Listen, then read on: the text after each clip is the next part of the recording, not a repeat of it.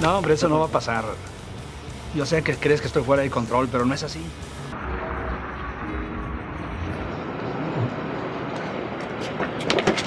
¿Por ustedes qué traen? ¿Qué Ahorita quieren? mismo nos vas a decir dónde está la casa de Emilio, cabrón.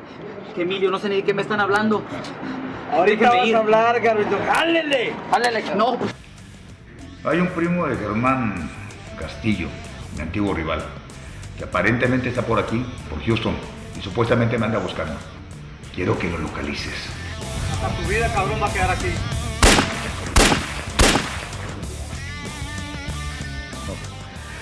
Hace muchos años, mi primo y yo hicimos un trato. Juntamos dinero, compramos tierras, animales y quedamos que si alguno de los dos moría, el otro se quedaba con todo. Ahora soy más rico y más poderoso. Mira, estoy desesperado. Me hablaron unos coyotes que tienen a mi hijo secuestrado.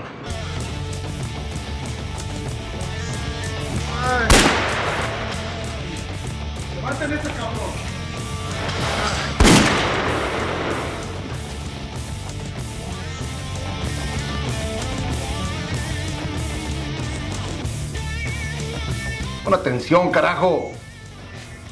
Está bien, comandante. Sé que está molesto porque tomé la iniciativa en el operativo de ayer.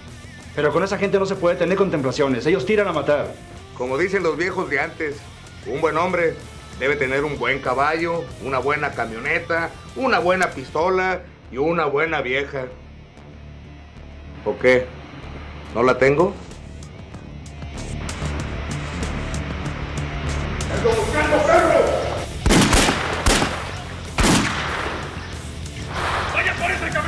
Ven y